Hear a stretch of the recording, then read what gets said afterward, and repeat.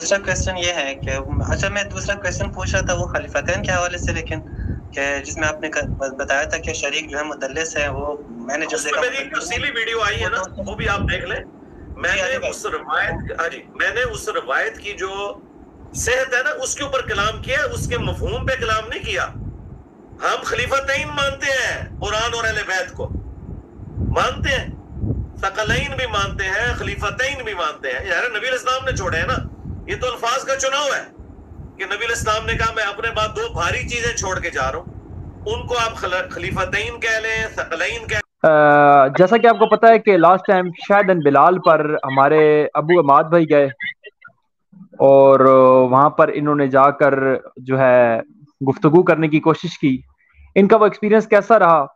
और किस कदर, देखें, जिसके पास कोई आर्गूमेंट नहीं होता, कोई बात करने के लिए बात नहीं होती तो वो चलाकी प्रेब और जो है वो स्पीकिंग पावर का सहारा लेता है। अपने उन इख्तियार का सहारा लेता है कि जो इख्तियार उसके पास हैं, बजाय इसके कि अपने अंदर हिकमत पैदा करके हक को तस्लीम करे। जो शख्स भी बातिल पर खड़ा होता है ना, वो हमेशा दो कश्तियों पर पाँव रखता है। वो बज़ाहिरन तो अपने आप को बड़ा सेफ्टी महसूस कर रहा होता है, लेकिन आखिरत में वही दो कश्तियाँ उसको चीर कर रख देती हैं। क्योंकि हमने जब अबू अमाद भाई गए और काफ़ी दफ़ा देखा कि वो खलीफा तैन वाली हदीस को जब चाहते हैं, उसको इकरार कर लेते हैं और जब चाहते हैं उसका इनकार कर देते हैं। मिसाल के तौर पे जब लास्ट टाइम अबू अमाद हैदरी साहब भी गए तो इनके सामने भी जब इन्होंने एक मुदल्लिस वाला पॉइंट उठाया और बड़ा वैलिड पॉइंट उठाया कि शरीक तो मुदल्लिस है ही नहीं, उस पर जब इन्होंने बात करने की कोशिश की तो वो डायरेक्ट दूसरी कश्ती पर चढ़ गए कि ये कश्ती तो अब डूब रही है। हम तो खलीफा तैन नहीं किया। हम खलीफतैन मानते हैं कुरान और अहले बैत को। मानते हैं। सकलैन भी मानते हैं, खलीफतैन भी मानते हैं। यार, नबी इस्लाम ने छोड़े हैं ना? ये तो डूब रही है। हम तो खलीफतैन को मानते हैं, हम सकलैन भी मानते हैं, हम ये भी मानते हैं। यार, एक ऑर्गेमेंट तो रखो ना। एक बात तो रखो ना कि यार, मैं इस हदीस को सही मानता हूँ या नहीं मानता। अगर इस हदीस को तस्लीम करना आपके लिए मुश्किल था मतलब कि आसान था और इसकी आप तवील आसानी से कर सकते थे तो फिर टेबल खड़का खड़का के आपने ये क्यों कहा? मुदल्लिस के लिए नहीं है ये मुदल्लिस के लिए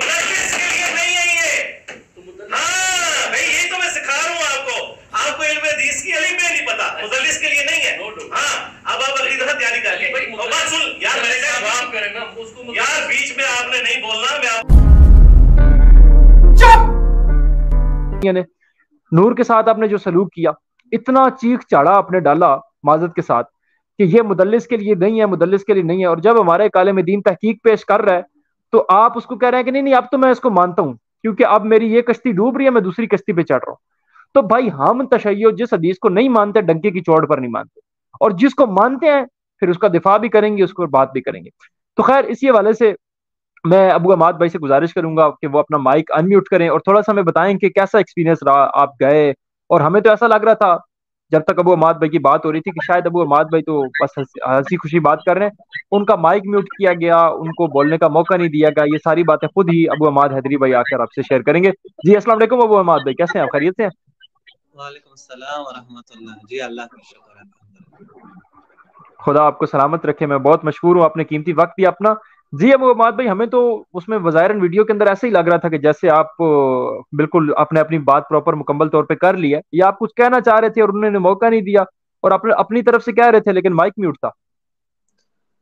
रहीम सबसे पहली बात तो यह है कि मैं शुरू में एक आयत सुनाता हूँ, कुरान की आयत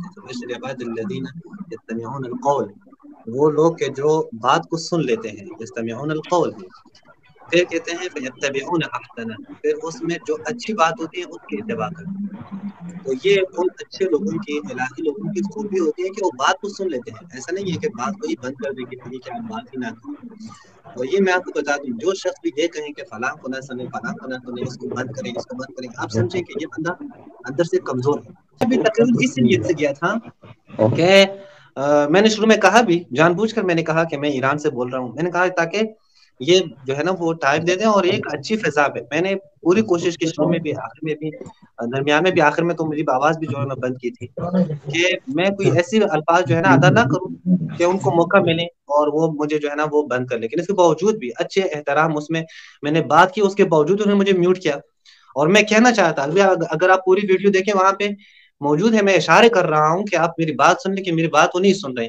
और म्यूट किया है मेरी जो है ना आवाज़ म्यूट की है इसके ऊपर दलील ये भी है कि जब वो अपनी बात खत्म करते हैं और फिर वो खुद कहते हैं कि इनके माइक जो है ना ऑन करें। जी जी। जी स्पीकर ऑन करें इनका माइक जी मैं जी जी। जी स्पीकर ऑन करें इनका माइक जी मैं ये सारे जो है ना दलाइल मौजूद हैं उसमें। मैं गया था मैं समझ रहा था कि मैं इनसे जाके इनसे कुछ सवाल करूँ। ये जवाब देंगे मुझे म्यूट नहीं करेंगे। अब ज़ाहिर है मैं यहाँ पे आपको मिसम जाफिर साहब अगर म्यूट करूँ तो मैं जो कुछ बोलना चाहूँ मैं बोल सकता हूँ। आप कुछ भी नहीं बोल सकते। यहाँ पे अली भाई को आपने ऐड किया है। मैं अली भाई को म्यूट करूँ यहाँ मैं अली भाई के खिलाफ जो दिल मेरा करे मैं कर, कह सकता हूँ। लेकिन अगर आप मैं आपको म्यूट ना करूँ आपको टाइम भी दे दूँ तब बात बनती है। कुरान की आयत पे तब ही अमल हो सकता है कि जब आप सामने वाले बंदे को टाइम दे दें कि वो बोले। मैंने इनसे पहला सवाल ये पूछा था अली भाई से कि ये जो आपकी किताबों में रिवायात है जो सराहतन तहरीफ कुरान पे दलालत करती हैं और वो कोई आम दूसरी किताबों में नहीं, यानी मैं मुसनफ इब्न अबी शैबा से रिवायत नहीं लेके गया। मैं मुस्लिम अहमद से रिवायत नहीं लेके गया। मैं किसी दिगर किताब से नहीं लेके गया। मैं मुस्लिम से लेके गया हूँ।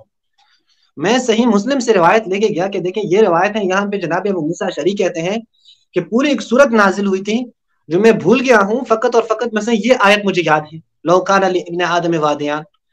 अब ज़ाहिर है, मैंने कहा कि आपके ओलामा ये कहते हैं कि ये नस हो चुकी है। अगर ये नस हो चुकी है तो इसके ऊपर नासिक पेश करें। कुरान की आयत है मानन सखमिन आयतिन कि कोई भी आयत उस वक्त तक नस नहीं हो सकती जब तक नासिक ना आए तो अगर आप कहते हैं कि ये आयत नस हो चुकी है फला आयत नस हो चुकी है तो हमें इस कुरान में अभी नासिक पेश करें और नासिक भी बिमिसलहा या बेखैर मिनहा जो मनसूख आयत है उससे ज़्यादा बेहतर हो या उसी की तरह तो जब तक आप नासिक ना पेश करें आप ये नहीं कह सकते कि नस हो चुकी है अगर आप, जब आप ये नहीं कह सकते कि नस हो चुकी है तो ये आयत जो इस वक्त सही मुस्लिम में मौजूद है, जो जनाब अब मूसा अशरी कहते हैं कि ये आयत है, ये हमें मौजूदा कुरान में दिखा दे। ये मेरा सवाल था, वहाँ पे मैंने ये सवाल बयान किया। अब इसका जवाब मैं आपसे पूछता हूँ मेसम भाई क्या बनता है? इसका जवाब ये बनता है कि आप आ जाए, आप कहें कि फलां कुरान की फलां आयत इसकी नासिक है, ये मनसूख हो चुकी है। या अगर आप इस मबना को नहीं मानते, आप कहते हैं कि नहीं, मानन सख बिन आयत का मतलब कुछ और है तो मतलब आप बयान करें। लेकिन जवाब इन्होंने क्या दिया? वो आप सबके सामने है कि सही मुस्लिम की रवायत इन्होंने कहा कि या ये जाली है या तावील करेंगे। ये बात आपके आपके पास कानून क्या है? आपके पास उसूल क्या है? हमारी किताबों में अगर ऐसी कोई रवायात है तो हमारे पास तो उसूल और कवानीन मौजूद है। उसके मुताबिक हम कहते हैं कि इन रवायात को हम नहीं मानते। आपके पास जो, आपके सही मुस्लिम में, आपके बुखारी में, आपकी दिगर किताबों में सही सनदों के साथ जो रिवायात मौजूद है उसको रद्द करने के लिए आपके पास क्या उसूल है? उसको रद्द करने के लिए आपके पास क्या कानून है? तो जब तक वो कानून और वो उसूल आप पेश न करें, आप जान नहीं छोड़ा सकते। फिर अली भाई ने अपनी इस बात में, यानी जवाब में ये कहा कि नासिक और मनसूख पे तो शिया सुनी सबका इतफाक है। और भाई, नासिक और मनसूख की बात नहीं हो रही। यहाँ नस्ख तिलावत की बात हो रही है। यहाँ ये बात हो रही है कि तिलावत नस्ख हो चुकी है। ये मेरा पहला सवाल था, जिसका जो जवाब अली भाई ने दिया था और मेरा जो सवाल था। वो आप सबके सामने है आप चाहे दोबारा भी देख सकते हैं। हम्म। कि उन्होंने मुझे जवाब दिया जी ये पहला अच्छा, यहाँ पे एक यहाँ पे एक बात की आपने अमाद भाई एक आपने बात की जी जी मैं सुन रहा हूँ।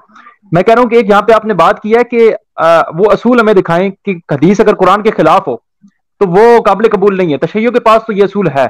तसन्न के पास आपका कहना ये असूल नहीं है? देखें शियों के पास जो उसूल है वो शिया की किसी मौलवी ने नहीं बनाए। वो शिया की किसी आयतुल्ला ने नहीं बनाए हैं। वो शिया की किसी मुजतहिद ने नहीं बनाए हैं। वो शिया मौलवी जाकिर ने नहीं बनाए हैं। शिया के आयमा ने, वो आयमा जिनके इतात फ़र्ज़ और जिनकी इमामत वाजिब करार दी गई है, उन्होंने बयान किए हैं। और मुतवातिर अहादीस है। कई आयमा से रसूल अल्लाह से मौजूद है हमारी किताबों में। कि अगर कोई हदीस कुरान के खिलाफ हो तो उस हदीस को आप न मान लो। ये बाकायदा अल्फाज है और एक दो रिवायत नहीं है कि मैं एक दो हदीस पेश करूँ।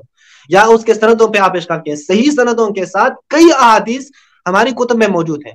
अहल सुन्नत के पास ये अहादीस न होने के बराबर है। है, मैं नहीं कहता नहीं है। है, लेकिन न होने के बराबर है।